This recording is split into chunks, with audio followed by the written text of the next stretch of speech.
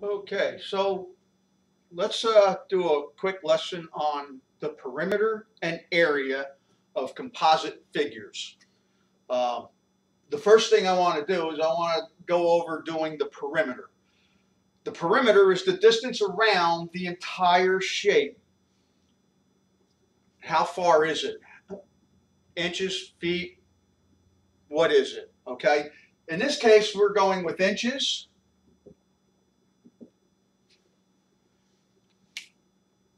and I'm going to show you what we do to get the perimeter. First thing we're going to look at is, is do we have dimensions all the way around? Well, we are missing one right here. And judging by the looks of this shape, it's going to be the same as this side. So that means that this one is probably going to be four inches as well. So we're going to go with four inches. Okay. Now, as we know, the perimeter is the distance all the way around. So all we need to do is add all of these together. So we're going to start here with the 15. Okay, so we have 15. Then we got 2 inches, 4 inches, 4 inches. That's 10 inches. Plus 5 is 15. Plus 4 is 19. Plus 3 is 22 plus 3.6 is 25.6. So we'll just add that to the 15. And when we add them together, we end up with 40.6 inches.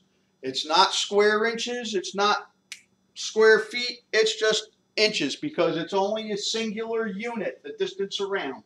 That's how many inches all the way around the shape okay? Doesn't matter how you add them all up as long as you know that you've got all the same numbers here that add up to, 20, to 40.6 inches. So you're just going to, if you have to, you cross them off as you add them together. So you can add the 15, cross it off. Add the 2 to the 15 is 17. Add the 4 to that. Add 4 to that. Cross them off as you go along so you know that you're getting all your numbers. Don't miss numbers. It's easy to do. It's easy to forget where you're at. Okay? Now, that's perimeter. Perimeter is really simple, and it's on a circle, it's actually the circumference. All right? And you know what the, the, the formula is for that is 2 pi r. Okay? So if you have a circle, it's 2 times pi times r. Okay? Now let's look at how do we find the area, the whole space inside this shape with the information that we have here? Well, to make it easy, we're going to break it into three different parts, okay? So we're going to do the area of three different sections. So what I'm going to do is I'm going to take an imaginary line across here, and I'm going to do the area of this, the area of here, and then I'm going to take an imaginary line and drop it straight down here. Okay, so I have an imaginary line there too. But I don't know this dimension here. I know what this dimension is. It's the same as this. So that's 2 inches. Okay? We don't want to use this 3.6 because that's the hypotenuse of the triangle, and you're not going to get an accurate um, answer if you use that for the area. Okay? Because the area for a triangle is one half, one half base times height. Okay? That's for here. Well, we don't have the base here, so let's figure out what the base is. We know from here to here is the same as adding this, this, and this together because those are the same distance. So we would have 5 plus 4 is 9 plus 3 is 12.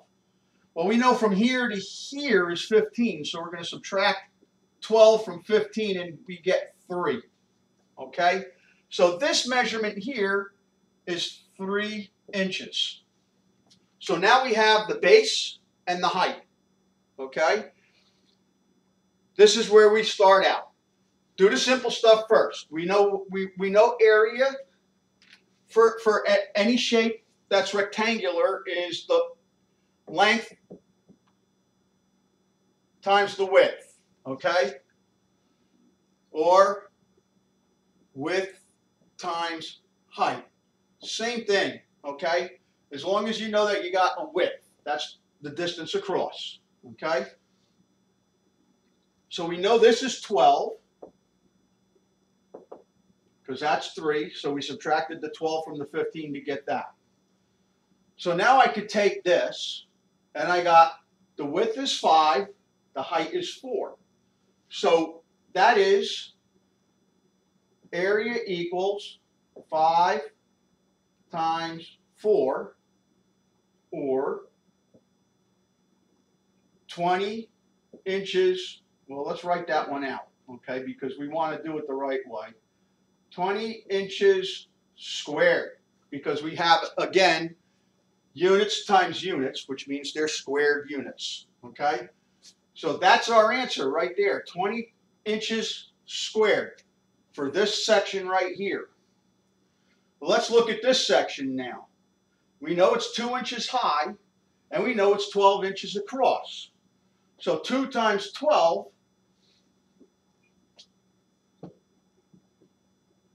Okay, width, height. Okay, we got width, height, and width. It doesn't matter which order you do it in. And we end up with 24 inches squared. Okay, that's our area for that one. Let's do the area on our triangle piece over here. The area on the triangle piece is one half the base times the height. So we take the base times the height, which is going to give us 6, times 1 half, okay? Well, a half of 6 is 3. So our area here is 3 inches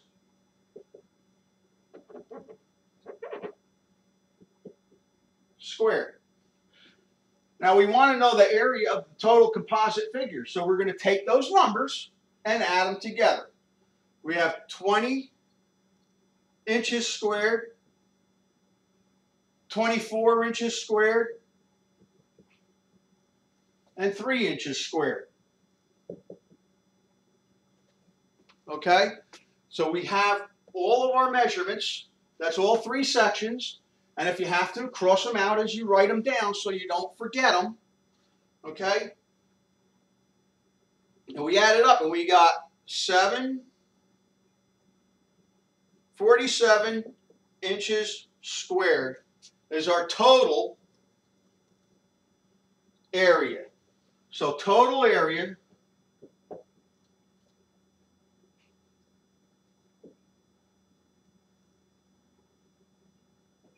47 inches squared. Okay?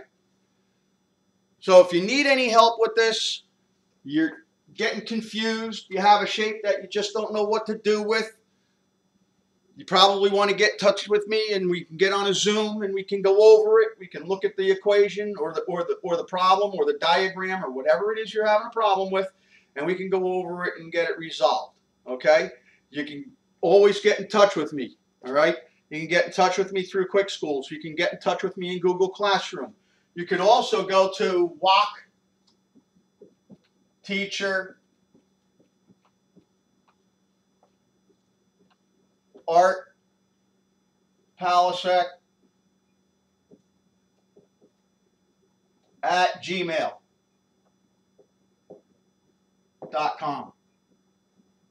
Okay?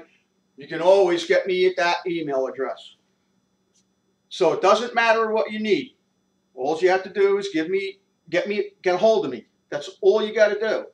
It's not difficult. I have given you so many different ways to get a hold of me. You shouldn't have a problem. Okay?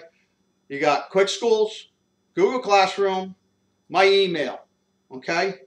That's three different ways right off the bat. So keep that in mind. If you have, if you're still having trouble with finding the area and perimeters on composite air on composite figures, let me know. We'll go over it. I'll help you out. I don't have any problem doing one-on-one. So if you want to message me, go ahead and do it. Okay? With all that being said, have a great day. Hopefully this is a help for you and you won't have a problem with this. But if you do, get in touch with me. I can't tell you enough times. Get in touch with me.